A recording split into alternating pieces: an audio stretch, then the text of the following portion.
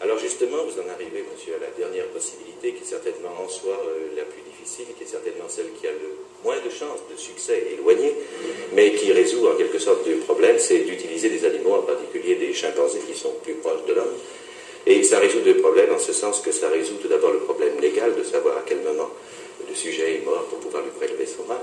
Et puis ça résout surtout le problème moral de savoir euh, de ne pas, que l'on n'enlève pas en somme un organe sain à quelqu'un qui est en bonne santé pour le greffer à quelqu'un avec une chance quand même qui n'est que de l'ordre de 50% des cas.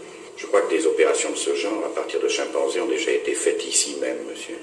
Oui, nous avons pratiqué un certain nombre de ces, de, de ces interventions. Euh, dans des cas qui étaient des cas extrêmement précis, euh, chez des malades qui étaient condamnés à mort, chez qui on ne pouvait pas faire justement ces traitements par hémodialyse, et chez des malades qui n'avaient pas la chance que quelqu'un puisse donner leur rein pour eux. Monsieur, l'idée que l'on peut greffer à un homme les organes, le rein d'un animal, et en particulier d'un singe, apparaît toujours un petit peu choquante. Je suppose qu'elle a une justification scientifique. Pouvez-vous me dire laquelle Vous venez d'employer le terme choquant. Et je crois en effet qu'il doit être prononcé à l'occasion d'une telle intervention. Et il devrait être retenu euh, s'il n'y avait pas plusieurs justifications à une telle intervention. La première justification, c'est son caractère tout à fait exceptionnel. Il est naturellement, de telles interventions ne sont faites que lorsque toutes les autres possibilités ont été épuisées. Je veux dire que euh, ces malades ne peuvent pas être traités par hémodialyse, soit qu'il existe des contre-indications médicales, soit qu'il soit impossible, en raison du manque de place, de les traiter. Et ce sont des malades qui n'ont pas de donneur vivant, bien entendu, et pour lesquels nous n'avons pas d'accès à un rein de cadavre. Que ce sont des condamnés à mort Ce sont des condamnés à mort. Alors, n'est-il pas justifié euh, d'essayer, malgré les chances très réduites, d'une réussite à long terme, n'est-il pas justifié euh, de tenter une telle intervention D'autant plus que les bases scientifiques ne manquent pas? Il est indiscutable, et ça c'est un point qui me paraît extrêmement important, que des équipes américaines ont montré que des survies prolongées pouvaient être réalisées avec euh, ces transplantations de reins de chimpanzés, et elles ont pu montrer qu'il y avait dans une certaine mesure et à la stupéfaction de beaucoup, des compatibilités entre les tissus du chimpanzé et les tissus de l'homme. Un petit peu comme certaines compatibilités entre tissus humains arrivent parfois lors de transplantations qui durent des années. Il y a donc là indiscutablement un problème qui mérite scientifiquement d'être approfondi.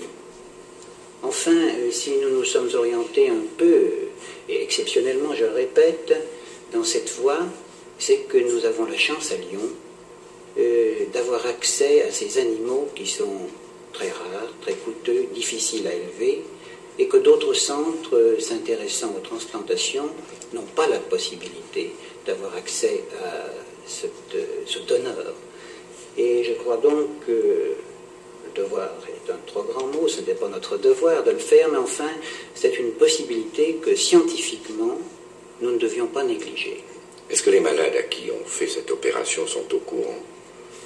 Euh, Les malades sont au courant, bien entendu, et les familles aussi, ce qui est au moins aussi important. Est-ce qu'ils l'acceptent facilement? L'acceptent, euh, bien sûr. Ils l'acceptent parce qu'ils savent qu'il n'y a pas d'autre possibilité et que c'est une chance qu'ils doivent tenter. Et nous sommes en ce moment précisément dans la singerie de ce laboratoire de la région lyonnaise d'où proviennent les singes qui ont servi à cette opération de la greffe du rein sur un homme. Euh, monsieur, vous êtes le vétérinaire de ce service. Quel problème particulier vous posent ces singes qui sont destinés à des transplantations Les problèmes particuliers qui posent euh, les singes, principalement les chimpanzés, c'est que c'est le problème d'adaptation. Étant donné qu'on les reçoit directement de la forêt africaine, ils se trouvent dans un milieu, ambiance complètement différent, et il y a des grands problèmes d'adaptation psychologique et pathologique. parce que cette inadaptation du singe a une influence sur son état de santé, j'imagine. Point de vue de la préparation de l'animal à l'opération elle-même, je pense que vous faites sur lui toutes les analyses qu'on fait sur les hommes. Si. Euh, dès leur arrivée, ils souffrent, euh, ils sont soumis à un examen général pour connaître leur état général, physiologique aussi, euh, des examens qu'on ferait à un homme dans un dispensaire ou dans un hôpital. Euh, une fois qu'on est garanti de leur état de santé générale, on passe à des examens plus précis destinés déjà à la préparation de l'animal pour la grève de. C'est-à-dire que vous faites des analyses ici même ou est-ce qu'on les fait à l'hôpital C'est un peu en équipe. On fait des analyses ici. Il y a d'autres analyses qu'ils ont fait dans euh, d'autres laboratoires de Lyon et d'autres analyses qu'ils ont fait à l'hôpital. Le singe est endormi pour cela. Le singe est anesthésié, bien sûr. Euh, maintenant, il est, anesthésié, il est dans une position euh, tout à fait valable pour faire de différentes analyses. Et pour l'opération elle-même, vous le préparez ici, il est rasé par exemple Le singe, il est anesthésié, bien sûr, à nouveau. Euh, on fait une asepsie générale, on les rase, on les badigeonne avec des teintures de iode et en ambulance, il est descendu à l'hôpital. Monsieur, vous êtes le chirurgien qui avait pratiqué ces opérations de greffe d'un rein de chimpanzé sur un homme. Est-ce que techniquement c'est très différent d'une greffe d'homme à homme Techniquement, les opérations de greffe de singe à l'homme ne sont pas essentiellement différentes des opérations qui se font entre donneurs humains. Est-ce qu'il y a des différences? Il y a cependant des différences car on utilise en général les deux reins du chimpanzé au lieu du seul rein qu'on utilise dans le donneur humain. Parce que le rein du chimpanzé n'est pas assez gros Le rein du chimpanzé n'est pas toujours assez gros et c'est pour ce motif qu'on prend les deux reins. Il est certain que le fait de prendre les deux reins oblige à quelques complications techniques et qu'il faut euh, prélever la horte et la veine cave au lieu de prélever simplement l'artère rénale et que cela allonge le temps de l'opération et la rend plus, plus longue et un peu plus compliquée. D'autre part, le fait de prendre les deux reins oblige aussi à une double réimplantation des urtères dans la vessie. Pratiquement, monsieur, les opérations que vous avez faites, il y en a trois, je crois, ont abouti à quelle survie de la part du malade La plus longue survie que nous ayons observée ici est de 50 jours. Euh, des survies plus longues ont été obtenues aux États-Unis où un malade avec euh, une greffe de rein de chimpanzé a survécu pendant 9 mois. Et vous pensez qu'actuellement, dans l'état actuel de la, de la technique et de la science, on peut prolonger cette durée assez rapidement Eh bien, le problème, là encore, est un problème immunologique. Il faut s'efforcer d'éviter le rejet et le rejet est plus puissant en matière de de rein d'animal que de rein humain, naturellement. Mais il n'est pas exclu de penser qu'un jour, on arrive à surmonter ce problème. Monsieur, nous allons voir maintenant l'une de ces opérations de greffe d'un rein de chimpanzé. Je vais vous demander de nous commenter ce qui se passe. Voici l'animal. Voici l'animal. L'animal est préparé comme un donneur vivant tous les examens sont, sont faits pour s'assurer de la bonne qualité de ces reins. ici, on le voit en train d'être radiographié. Voici la radiographie des reins du chimpanzé.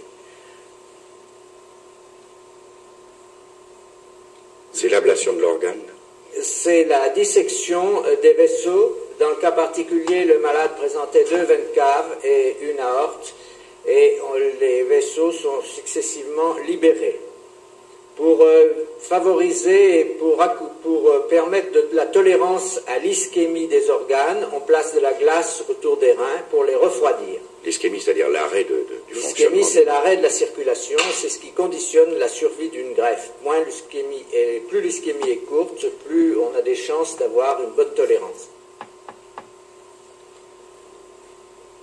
Que fait-on Eh bien, l'opération a prélevé le bloc qui comporte les deux reins, l'aorte et la veine cave, que l'on voit maintenant. Ce sont les reins du singe. Ce sont les reins du singe.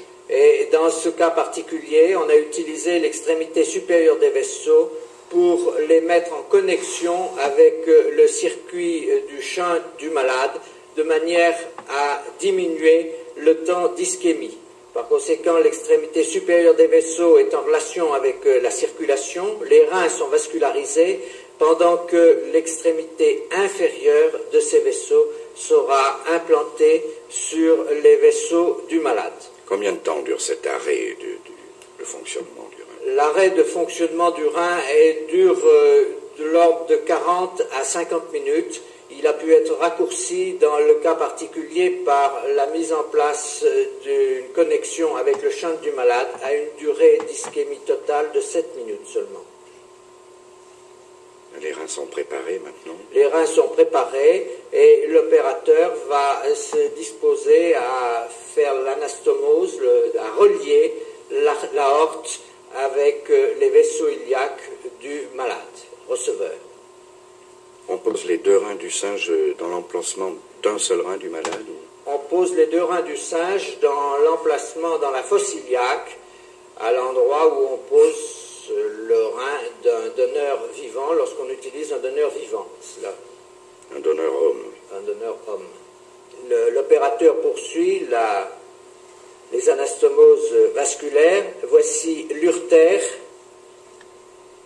l'un des urtères du rein du chimpanzé, dans, la- dans lequel on introduit une sonde avant de le réimplanter dans la vessie. On va vérifier qu'il fonctionne. Voilà, les gouttes d'urine s'écoulent par la sonde euh, très rapidement après que l'anastomose vasculaire a été réalisée. Monsieur, nous venons d'assister à cette opération spectaculaire de la greffe d'un chimpanzé à un homme. Et bien entendu, le problème n'est pas résolu aujourd'hui, mais le seul fait que des opérations de ce genre soient tentées ici aux États-Unis euh, préfigure, j'imagine, euh, le moment où le problème de la greffe sera résolu. Dans ces conditions, est-ce que on ne peut pas penser que la dialyse que l'on pratique ici, qui maintient des gens en vie, ne deviendra pas à ce moment-là inutile Et J'espère comme vous que les greffes donneront dans les années qui viennent des résultats excellents et meilleurs que ceux de l'hémodialyse. Et je pense que même dans ce cas, les centres d'hémodialyse resteront nécessaires. En effet,